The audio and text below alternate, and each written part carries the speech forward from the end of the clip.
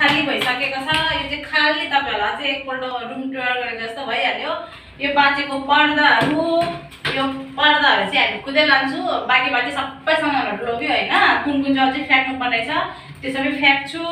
मेरो छोरी र म चाहिँ अब यहाँ खाली खाली फ बहुत साल बाद खुला खुलामा यहाँ बल खेल्नु पाएको। नत्र भने पुरा सामान खेच खेच खेच खेच भइरहन्थ्यो आउनु न म उतापट्टिको रुममा पनि देखाउनु। आउनु त सँगसँगै आउनु ल। यतापट्टि रुममा आउनु। यतापट्टि हामी कसैको छ? अब चाहिँ यो खाली खाली रुम हो। चाहिँ हामी सुत्नुपर्छ अब।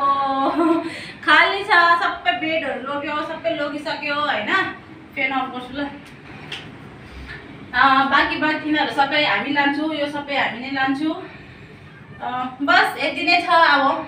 तपाईँहरूलाई रुम देखाइदिनु चाहिँ जहाँको त्यही हुन्छ। आज चाहिँ लोग्यो एउटा चाहिँ बाँचेको छ। नीचे देखो। नीचे नहीं देखना है देखो। अभी कल परसों कल शाम को हम लोग चले जाएंगे। क्या करे फौजी लाइफ में ऐसे होता है। आज तो ऐसे सोना पड़ेगा। अभी अभी तर मजा आउँदैछ नि नि? नि, है? यादगार हुँदैन भन्नु त। यो यादगार त हुन्छ नि। त हामी अभी हामी चाहिँ यसरी चाहिँ बसेको थियो भनेर यादगार त हुन्छ नि। पियासी पियासी यादगार के लिए तो वीडियो बना रहा हूँ जिंदगी क्या भरोसा. आज तो कल कहाँ है पिएसी त मसँग डान्स पनि गर्न थाल्यो ल अहिले बादमा बात गर्नुपर्छ राख्नु सुत्नुपर्छ